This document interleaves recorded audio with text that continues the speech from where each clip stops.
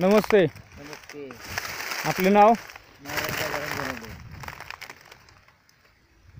राहणार?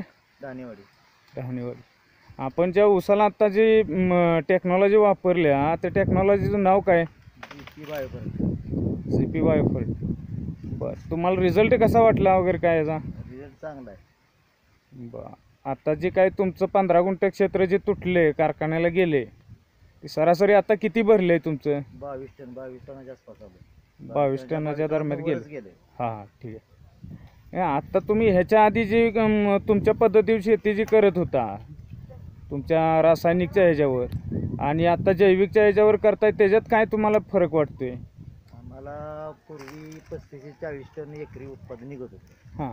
पण आता जवळजवळ माझं पंधरा टन रान ऊस तोडला आहे पंधरा गुंठ. पंधरा गुंठ. तर त्यात अं, बावीस टन अं, बावीस टनाची खापीक झाली आहे हां. म्हणजे बऱ्यापैकी ॲव्हरेज आहे जवळ एकरी साठ टनाचं ॲव्हरेज आहेच येणारच. तुमची अं, हे जे पी बायोफर्ट जी टेक्नॉलॉजी वापरत असताना तुमची रासायनिक लागवड कमी झाली का हो? रासायनिक लागवड नक्कीच कमी झाली आम्ही वापरलीच नाही जास्त. बर.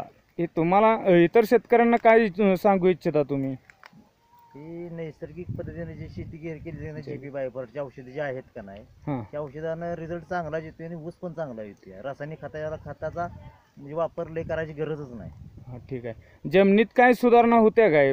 जमीन भुसभुशीतच आहे. ठीक आहे ठीक आहे. तुम्ही समाधानी आहे का याच्यावर? समाधान आहे समाधान आहे. बर. इतर शेतकऱ्यांनी वापरावे असे तुमचे काय इच्छा वगैरे? वापराय पाहिजे शेतकऱ्यांनी. वापरून एक प्रयोग केला पाहिजे. कमीत कमी जास्त नाही म्हटलं तर अर्ध्या एकरासाठी तरी प्रत्येकानं प्रयोग करून बघितलं पाहिजे पहिल्यांदा. ठीक आहे. कोणाला शंका असेल त्यानं. धन्यवाद. ओके.